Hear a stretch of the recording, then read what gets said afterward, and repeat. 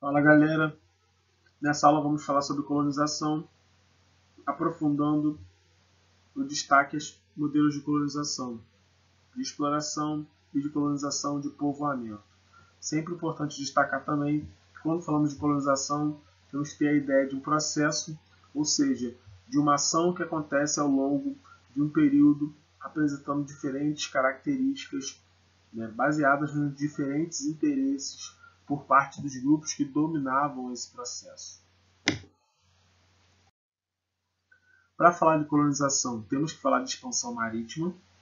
Na expansão marítima, nós temos aí uma transformação radical na história da humanidade, com o projeto né, de formação de um grande comércio ultramarino, um grande comércio transoceânico, interligando as diferentes partes do mundo, como está destacado nessa regionalização é, baseada na visão eurocêntrica, no qual o velho mundo corresponde à Europa, África e Ásia, e os territórios recém-conquistados vão ser vistos como Novo Mundo, a América, e Novíssimo Mundo, a Oceania.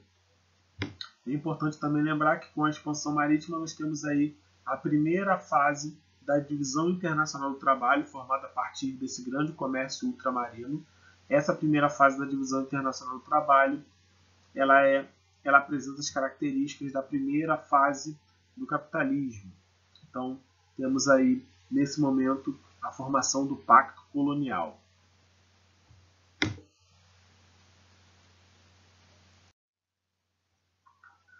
Quando falamos de colonialismo, sempre temos que lembrar que no colonialismo tem a imposição de domínio de uma população sobre outra. Essa imposição de domínio é sustentada pelo interesse que essa população tem pelo potencial que o território apresenta.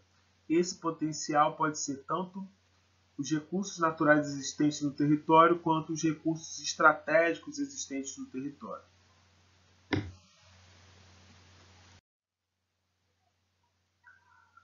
Lembrando também, quando falamos de colonialismo, é importante diferenciar colonialismo de neocolonialismo, apesar de nos dois processos nós termos aí a imposição de domínio de uma população sobre outra baseada, fundamentada nos interesses estratégicos que esse território apresenta.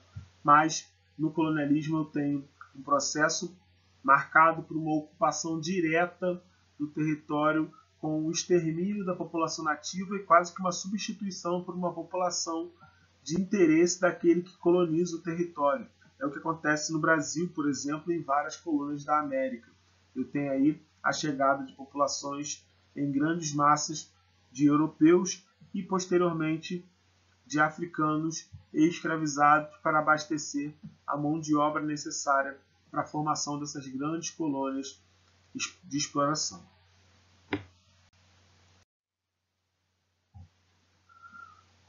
Na colonização, como falei anteriormente, eu tenho sempre a visão de que o território apresenta algum potencial a ser explorado. Repetindo, esse potencial pode ser um recurso natural, né, ou vários recursos naturais, ou pode ser um potencial estratégico, como uma saída para o mar, o acesso a uma determinada área de interesse, uma fronteira com outros países. Então, existem diferentes justificativas para que os estados tenham o objetivo de conquista e de controle sobre uma determinada área. Nesse caso, século, a partir do século XV, esse interesse vai justificar o início de um processo que vai ser conhecido como colonização, no qual tem a imposição de poder do povo, da população, do Estado que conquista o território. E aí, de acordo com o interesse desse Estado, diferentes maneiras de colonização vão ser implantadas, o que nós veremos a partir dos próximos slides.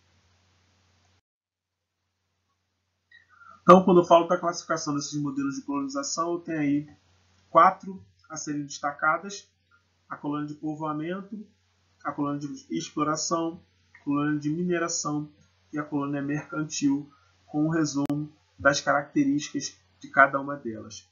Lembro, destaco que a colônia de exploração, a colônia de mineração e a colônia de mercantil, todas as três apresentam modelos de colonização e de exploração no qual o interesse principal é se aproveitar dos recursos existentes no território. E aí, quando eu falo de colônia de mineração e mercantil, eu estou destacando apenas um modelo mais específico e, na maioria das vezes, singular de exploração realizada em determinada colônia, e aí por isso o nome especificado.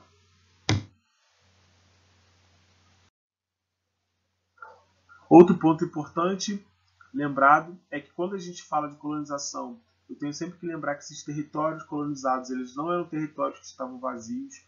Existem é, os povos nativos que ocupavam historicamente esses territórios e o processo de colonização vai impor ali a exploração, o extermínio e a conquista desses povos, causando prejuízos imensos a esses povos e a toda a humanidade, com as perdas culturais, as perdas humanas, obviamente, provocadas pelo processo de colonização.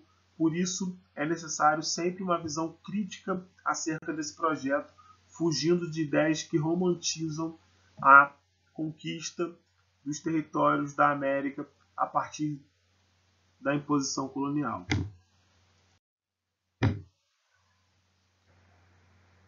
Então, como está destacado aqui, eu tenho ali, como foi falado anteriormente, quatro modelos de colonização, porém o modelo de colonização de mineração e de colonização e de colônia mercantil são modelos de colônia de exploração. Então, diferenciando, classificando a colonização, eu tenho um modelo de colônia de povoamento, no qual as terras colonizadas eram usadas como refúgio a populações perseguidas no continente europeu, que vão buscar em novas terras a construção de uma vida nova, longe dessas perseguições, ou também para pessoas, para famílias que acreditavam que no novo mundo teriam uma vida melhor. Então, o processo de colônia de povoamento ele fundamenta uma expectativa de melhoria na qualidade da vida daquelas pessoas que buscavam essas colônias de povoamento, que não ocupavam extensas áreas. As áreas de colônia de povoamento eram bem reduzidas se comparadas com as colônias de exploração, que correspondem à ampla maioria do processo de colonização imposto aqui no continente americano. Diferente do caso da colônia de povoamento, no qual essas áreas vão ser destinadas a populações que buscam um refúgio e a construção de uma nova vida, na colônia de exploração o interesse é explorar ao máximo os recursos existentes no território, fundamentados principalmente no modelo de plantation, grandes propriedades, monocultura e agroexportação.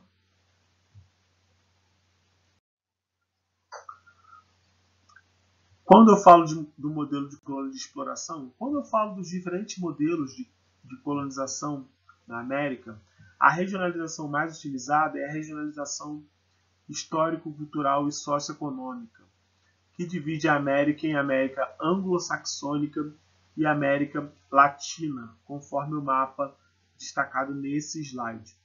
E aí vamos perceber como as diferentes formas de colonização ocorreram aqui na América a partir dessa regionalização, para entender melhor a distribuição dos modelos de colonização em qual parte do continente.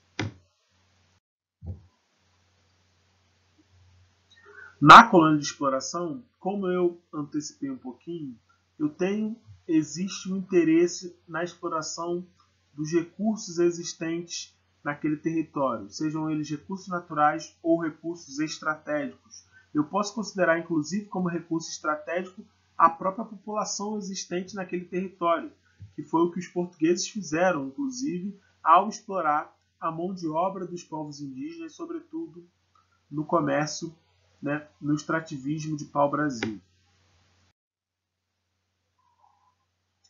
E aí na colônia de exploração eu tenho algumas características destacadas. O latifúndio, que é uma extensa propriedade agrícola, a monocultura, a especialização em um único produto, a escravidão, baseada na mão de obra escravizada, e é importante destacar que isso aí é, uma, é a chamada escravidão moderna, com características diferentes de outras formas de escravidão que já ocorreram na história da humanidade anteriores a esse período. As restrições à industrialização a partir do momento que a Revolução Industrial ocorre, né? mas é interessante para as elites locais a manutenção do modelo agroexportador. A produção voltada para o mercado externo, então as necessidades de abastecimento vão existir com uma preocupação maior com o mercado externo. E, por último, a dependência em relação à metrópole, fruto desse pacto colonial. Já quando eu falo de colônia de povoamento, eu estou falando desse território que vai ser utilizado como uma nova oportunidade para um determinado grupo, para, para um determinado conjunto de pessoas, né? ou para vários grupos por diferentes motivos. Na colônia de povoamento, o destaque é sempre a ideia de uma nova oportunidade. Então, a ideia de criar um novo vínculo com o território, né? enraizar ali a sua, criar ali as suas raízes naquele território, né? cruzando, na maioria das vezes, o oceano. Então, as colônias de povoamento vão ser muito utilizadas para europeus perseguidos né, por diferenças religiosas no seu continente de origem, mas também por uma parcela da população que busca uma nova vida, uma vida melhor nesses territórios. Então, as principais características. Na colonização de povoamento, eu vou ter pequenas e médias propriedades. Os colonos não eram servos nem escravos, eles trabalhavam ali por conta própria para receber o que era necessário para sua subsistência. A produção era voltada para o mercado interno, havia maior autonomia e liberdade, comercial, além também de autonomia política. Então, tem diferenças estruturais bem grandes em relação ao modelo de exploração. Aqui uma tabela comparativa entre os dois modelos, o sistema de colônia de exploração e de colônia de povoamento. É importante perceber como em várias características eu tenho o oposto entre um modelo e outro, então fica até mais fácil de saber as características de um e de outro. Com isso finalizamos, galera. Rapidinho, fechamos. Até a próxima. Valeu!